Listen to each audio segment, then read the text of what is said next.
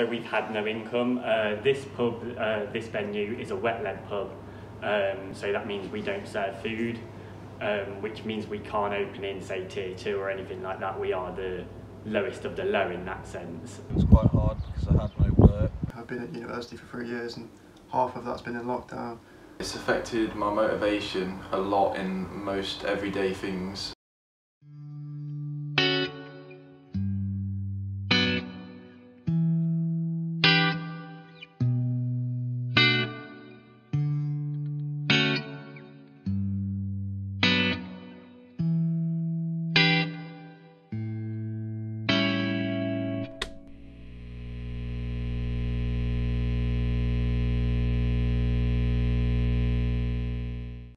COVID 19 has brought everybody in the world to a halt, with any business that isn't seen as essential having to adapt into a new world, or even worse, have to come to a stop.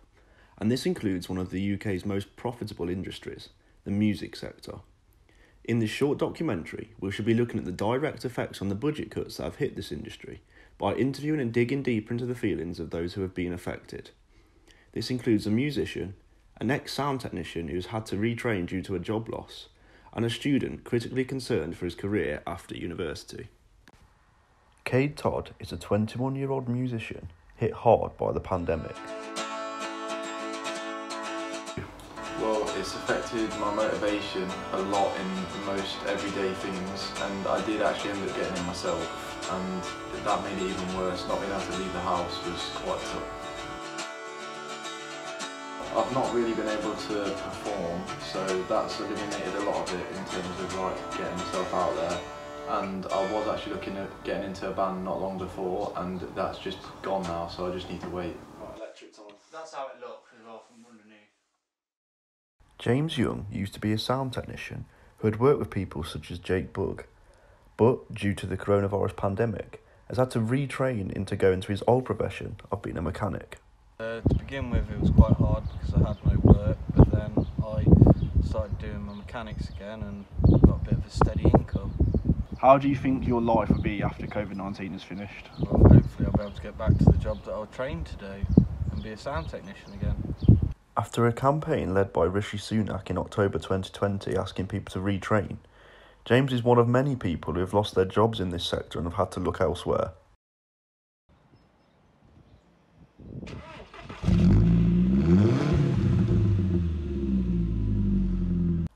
Harry Smith is a 21 year old who owns two hospitality venues in Hinckley that frequently hosted band nights, but due to coronavirus, have struggled for money.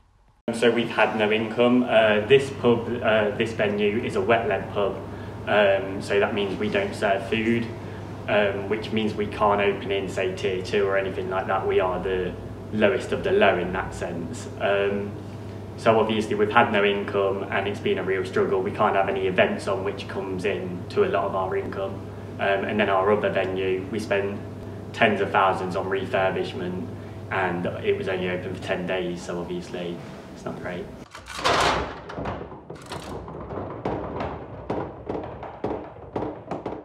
Do you think that when you reopen after COVID, your business will be a bit different to what it was now? Like not just in the way like people might have to social distance for a little while, but do you think it, like people will like flood back to pubs and like venues, or do you think it would be something that people are maybe a bit more like aware of?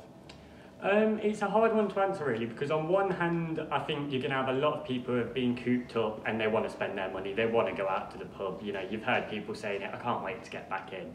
And I think you will have a flood of people who can't wait to come back in. But on the other hand, I can see that now people have obviously been drinking at home mm. and they can obviously understand how much money they save from drinking at home rather than going to a pub every day. Um, and you know that's going to be quite interesting to see how that unfolds because during the first lockdown we had a very similar situation. Uh, one of our regulars who comes in, he spends a lot of money. He comes in and drinks about three bottles of wine a day. After first lockdown, he'd been having people around his house, and he realised how much money he saved, and he didn't come in for a while. Mm. So it's going to be interesting. There's two different types of people, and it is going to be interesting to see how that unfolds. For some venues that were lucky enough, grants were issued by the government to try to help those to get by but it is not always enough, especially without steady income. Because the grants just don't cut it. Um, you're getting about a thousand pound a month, which don't even cover your bills, kind of thing.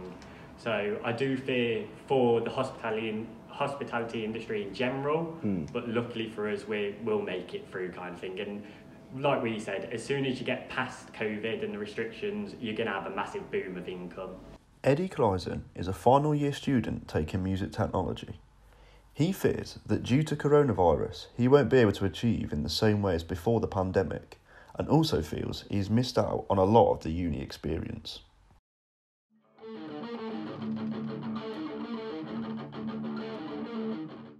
Well, as a music student, I need access to the, the studios and to practice the skills I need to learn, the mixing and the mastering and how to record instruments and I haven't been able to do that for the longest time now and I felt like it has affected me and I've had to invest my own money in order to learn these skills and it's I feel feel like I haven't earned what I need out of the university degree with the money I put into it.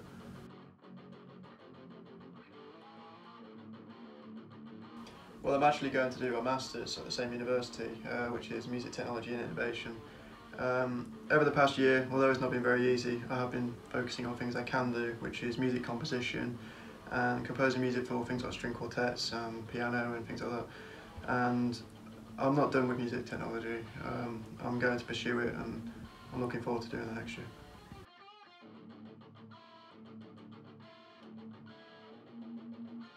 Do you think that your career after university would be affected by COVID, and uh, if so, are you worried?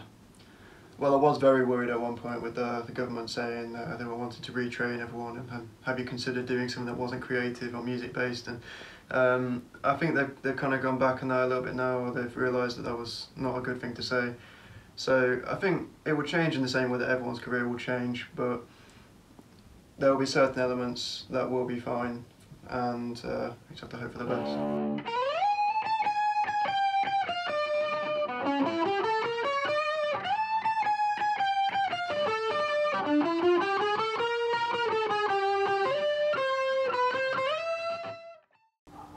Uh, would you say it's been difficult to produce music during COVID, and uh, if so, have you done anything about it?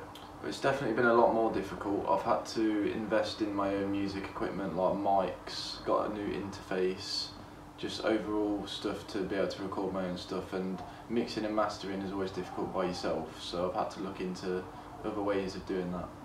How do you think that your career in music will be different after coronavirus is finished? Well I definitely think it will be a lot more difficult at first but give, given time I think after a few years job opportunities will start to grow again and I'll, I'll be able to find what I was looking for before this happened.